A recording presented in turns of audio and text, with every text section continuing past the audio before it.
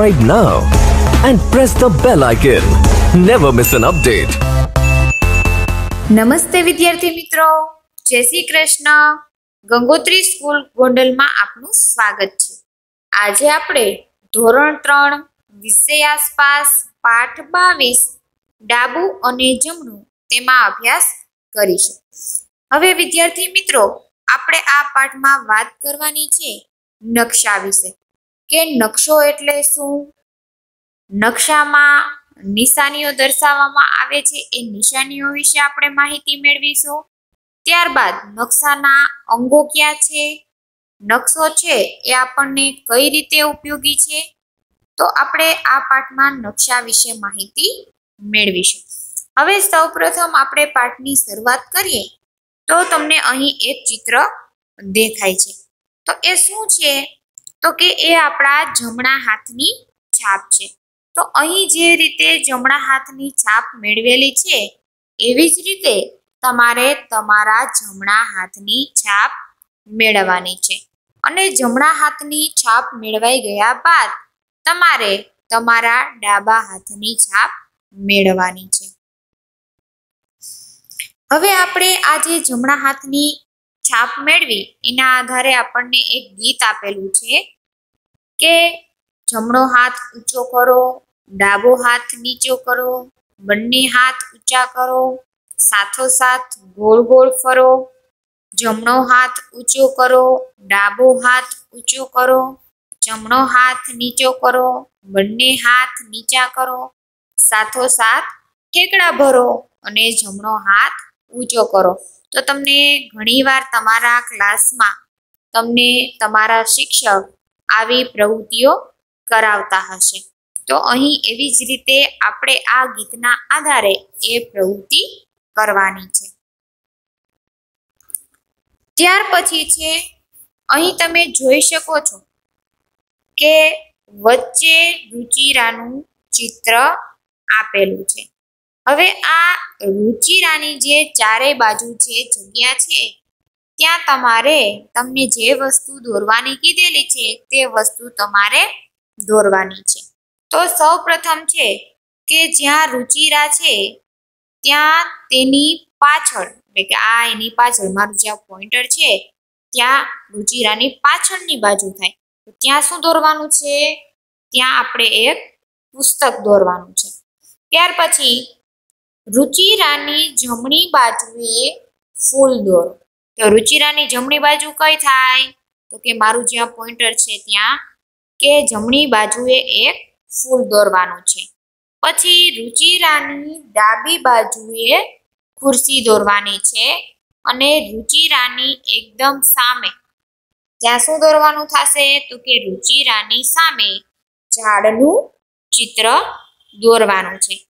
એટલે પાછળના ભાગે પુસ્તક, જમણી બાજુએ ફૂલ, ડાબી બાજુએ ખુરશી અને સામેની બાજુએ વૃક્ષ દોરવાનું છે.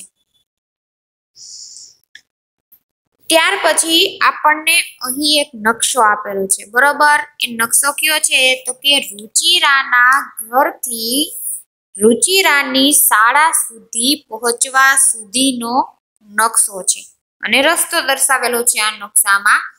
હવે આપણે આ જે નકશો આપેલો છે, એ નકશાને આધારે આપણે કેટલાક પ્રશ્નના જવાબ મેળવવાના છે. તો સૌપ્રથમ પહેલો એ પ્રશ્ન છે કે રુચિરા તેના ઘરથી શાળા સુધી પહોંચે છે. તો એને રસ્તામાં કઈ કઈ વસ્તુઓ અને કઈ જગ્યાઓ આવે છે? તો આપણે શરૂઆત કરીએ કે એને કઈ કઈ વસ્તુઓ અને કઈ કઈ જગ્યાઓ આવે છે. તો કે આ રુચિરાનું ઘર છે. ત્યાંથી તે નીકળે છે તો સૌ પ્રથમ તેને રસ્તામાં આવે છે ઘર મકાન, ત્યારબાદ હેન્ડપંપ, ઝાડ, બગીચો, કૂવો, bus stop, post office, hospital, દુકાન, ઝાડ અને શાળા. આટલી વસ્તુઓ અને જગ્યાઓ રુચિરાના ઘરથી શાળાના રસ્તા વચ્ચે આવે છે. પછી આપણને કીધું છે કે આમાંની કઈ જગ્યાઓ અને કઈ વસ્તુઓ જમણી બાજુ છે અને કઈ વસ્તુ અને જગ્યા ડાબી બાજુ છે.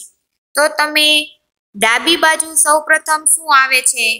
તો કે ડાબી બાજુ રુચિરાનું ઘર, પછી ઘર મકાન હેન્ડપંપ, બસ સ્ટેશન એટલે કે બસ સ્ટોપ, હોસ્પિટલ, દુકાન અને ઝાડ અને શાળા. આ છે એ ડાબી બાજુ આવે છે અને જમણી બાજુ શું આવે છે? તો કે જમણી બાજુ ઝાડ, બગીચો, કૂવો અને પોસ્ટ ઓફિસ. આ તેની જમણી બાજુએ આવે છે. પછી ત્રીજો પ્રશ્ન છે રુચિરાએ તેના ઘરેથી શાળાના રસ્તા ઉપર કેટલા વળાંક લેવાના થાય છે? તો ચાલો આપણે જોઈએ કે એ કેટલા વળાંક લે છે. તો કે એના ઘરથી અહીં એક વળાંક, ત્યાર પછી હેન્ડપંપ પાસેથી બીજો વળાંક, ત્રીજો વળાંક છે એ બગીચા પાસેથી, ચોથો વળાંક કુવા પાસેથી અને પાંચમો વળાંક દુકાન પાસેથી. આમ તેને કુલ ઘરથી શાળાએ પહોંચવા સુધી પાંચ વળાંક લેવા પડે છે. હવે આપણને જે પ્રશ્નના જવાબ આપણે મેળવ્યા એ ફરીવાર એકવાર રિપીટ કરીએ કે રુચિરાના ઘરથી શાળા સુધીના રસ્તા પર કઈ કઈ વસ્તુઓ અને કઈ કઈ જગ્યાઓ આવે છે?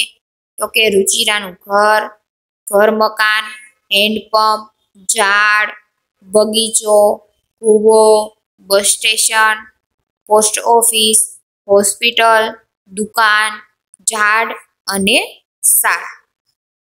ત્યાર પછી જમણી બાજુ ઝાડ, બગીચો કૂવો અને પોસ્ટ ઓફિસ આવે છે અને ડાબી બાજુ રુચિરાનું ઘર ઘર મકાન, હેન્ડપંપ, બસ સ્ટેશન, હોસ્પિટલ, દુકાન, ઝાડ અને શાળા આવે છે. રુચિરાએ તેના ઘરથી શાળાના રસ્તા પર કેટલા વળાંક લેવાના થાય છે? તો કે રુચિરાએ તેના ઘરથી શાળાના રસ્તા પર પાંચ વળાંક લેવાના થાય છે. હવે આપણે જોઈએ તો કે આ નકશો એટલે શું? આપણે નકશાને આધારે ઘણી બધી માહિતી મેળવી શકીએ છીએ. તો આ નકશો એટલે શું? તો કે નકશામાં કેટલીક વિગતો દર્શાવવા માટે નકશામાં કેટલીક વિગતો દર્શાવવા માટે ખાસ પ્રકારના ચિત્રો વપરાય છે. એટલે કે નિશાનીઓ આપણે જેમ કે હોસ્પિટલ દર્શાવી હોય, તો આપણે કઈ નિશાની વાપરીએ છીએ? શાળા દર્શાવી હોય, તો આપણે કઈ નિશાની વાપરીએ છીએ? તો કે નકશામાં આ બધી નિશાનીઓ દર્શાવેલી હોય. એટલે આપણે એના આધારે કઈ વસ્તુ રસ્તામાં આવે છે, એ વિશે આપણે માહિતી મેળવી શકીએ છીએ. હવે આપણે જોઈએ નકશો એટલે શું? તો કે નકશો એટલે પૃથ્વીના કોઈ પણ ભાગની આજુબાજુની પરિસ્થિતિ અને સ્થાન દર્શાવતી નાના માપથી દોરેલી આકૃતિ. એટલે કે આપણે પૃથ્વીના કોઈ પણ ભાગમાં કયું સ્થાન ક્યાં આવેલું છે એ આપણને નકશામાં દર્શાવેલું હોય છે. ત્યાર પછી છે નકશાના મુખ્ય અંગો. કે નકશામાં કયા એવા ત્રણ મુખ્ય અંગો છે જે ખાસ કરીને દર્શાવવામાં આવે છે? તો પેલું છે દિશા સૂચન કે કોઈ પણ વસ્તુ દર્શાવેલી છે, કોઈ પણ જગ્યા દર્શાવવામાં આવેલી છે, તો તે કઈ દિશામાં આવેલી છે? એટલે દિશા સૂચન ત્યારબાદ એ જગ્યા માટે કઈ કઈ નિશાનીઓ વપરાય છે? એટલે બીજું અંગ છે નિશાનીઓ અને ત્રીજું તેનું પ્રમાણ માપ. એટલે કે નકશાના મુખ્ય અંગો ત્રણ છે દિશા સૂચન નિશાનીઓ અને પ્રમાણમાં. અને આ નકશામાં આવેલી નિશાનીઓ એટલે શું? તો કે નકશામાં કેટલીક વિગતો દર્શાવવા માટે ખાસ પ્રકારના ચિત્રો વપરાય છે અને એ ચિત્રોને નિશાનીઓ કહેવામાં આવે છે. તો વિદ્યાર્થી મિત્રો, આજે આપણે અભ્યાસ કર્યો, તેને ફરી એકવાર યાદ કરી લઈએ. તો કે આજે આપણે ખાસ કરીને કે રુચિરાના ઘરથી શાળા સુધીનો નકશો દર્શાવેલો હતો અને એના ઘરથી શાળા સુધી પહોંચવા માટે કઈ કઈ વસ્તુઓ કઈ કઈ જગ્યાઓ વચ્ચે આવે છે તેની પણ આપણે માહિતી મેળવી. પછી એ નકશાના આધારે આપણે કેટલાક પ્રશ્નના જવાબ મેળવ્યા અને છેલ્લે આપણે હમણાં જોયું કે નકશો એટલે શું, નકશામાં નિશાનીઓ એટલે શું અને નકશાના મુખ્ય અંગો ક્યાં છે. જેમાં આપણે જોયું કે નકશાના મુખ્ય અંગો દિશા સૂચન નિશાનીઓ અને પ્રમાણ માપ છે. તો વિદ્યાર્થી મિત્રો, હું આશા રાખું છું કે આજે આપણે જે ભણ્યા તે તમને સમજાઈ ગયું હશે. હવે નવી માહિતી સાથે ફરી મળીશું. Thank you